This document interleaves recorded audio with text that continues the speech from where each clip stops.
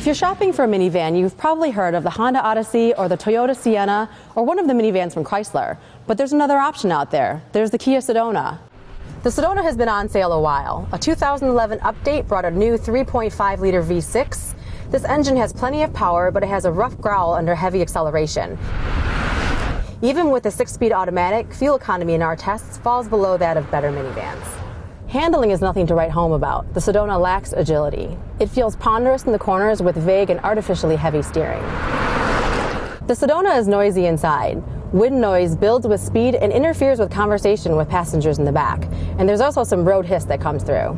On the plus side, the ride has good isolation, muting most impacts. However, the van rocks and pitches at times when cruising on the highway. It isn't totally settled.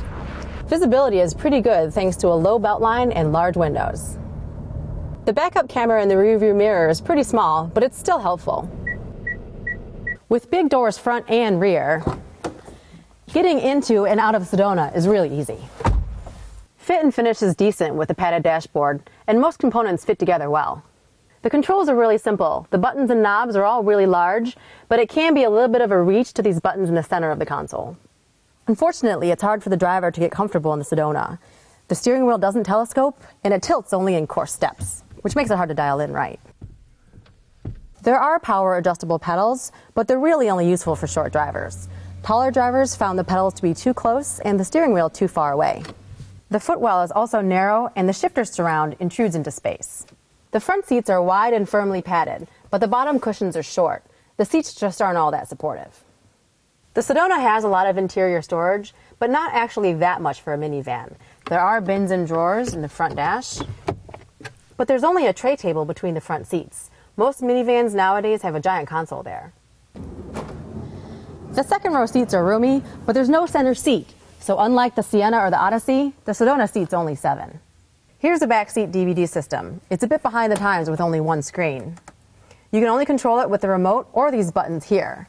A parent buckled in the front seat can't change discs or control the system from the dashboard. And if you wanted to get into the third row seat, the best way to do that is to squeeze between the second row seats. Once you're back here, there's plenty of room, but the seat is pretty flat and low. Like other minivans, there's plenty of cargo room. If you're using the third row seat, there's still a deep well here for luggage. If you're not using the third row seats, they fold flat into the floor.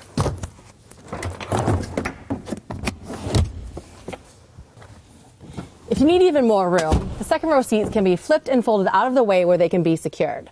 They can also be removed completely, but they're really heavy. So the Sedona is a roomy family vehicle and it costs thousands of dollars less than similarly equipped competitors. But the minivan market is one where you get what you pay for. The Sedona is an okay vehicle, but there's better choices out there.